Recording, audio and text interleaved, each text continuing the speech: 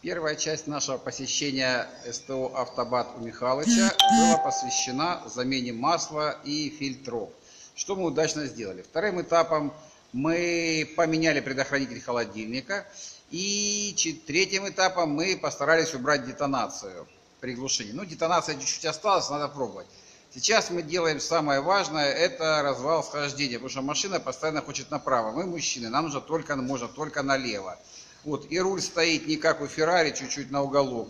Это очень, э, очень беспокоит моего главного пилота Видар. Наш, да, вот видите, машет рукой. То есть он совершенно согласен с тем, что руль должен стоять как у пионера. Прямо, всегда готов.